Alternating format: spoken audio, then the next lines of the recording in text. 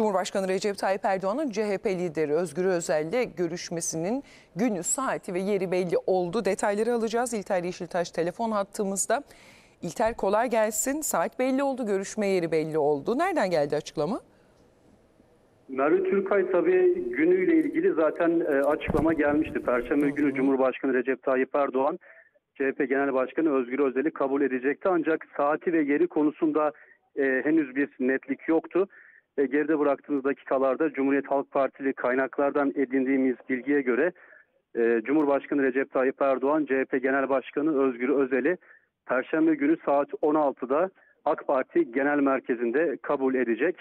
Bu son dakika bilgisini az önce edindik. Cumhuriyet Halk Partili kaynaklar e, görüşmenin AK Parti Genel Merkezi'nde saat 16'da olduğunu ifade ettiler. Tabii görüşmenin gündeminde şüphesiz yeni anayasa olacak ki e, Cumhurbaşkanı Recep Tayyip Erdoğan Irak dönüşü uçakta gazetecilerin sorularını yanıtlarken bu konuya ilişkin e, yenilikçi ve özgürlükçü bir anayasaya kavuşma zamanı gelmiştir.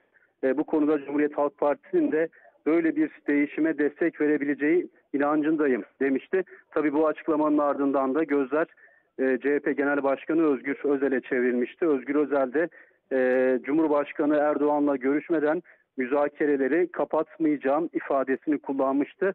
Yeni anayasa ilişkin e, de değerlendirmesi bu şekilde olmuştu. Tabii iki isim e, öncelikli olarak e, bayramlaşmışlardı. CHP Genel Başkanı Özgür Özel, Cumhurbaşkanı Recep Tayyip Erdoğan'ı bayramda aramıştı. Daha sonra 23 Nisan resepsiyonunda bir araya gelmişlerdi. Orada da açıkçası e, samimi ve sıcak bir diyaloğun e, sağlandığına ilişkin de zaten bilgiler edilmiş. Bunu e, paylaşmıştık ve nihayetinde orada e, Cumhurbaşkanı Recep Tayyip Erdoğan'la CHP Genel Başkanı Özgür Özel e, görüşme konusunda e, mutabık e, mutabakata varmışlardı ve tabii ki gözlerde bu görüşmenin nerede ne zaman e, olacağına çevrilmişti. Aslında e, Cumhurbaşkanlığı Külliyesi'nde bu görüşmenin olabileceği ifade ediliyordu ancak Cumhuriyet Halk Partili kaynaklar yer konusunda kesin bir ifade kullanmıyorlardı. Hatta bugün CHP Genel Başkanı Özgür Özel'e de sorduğumuzda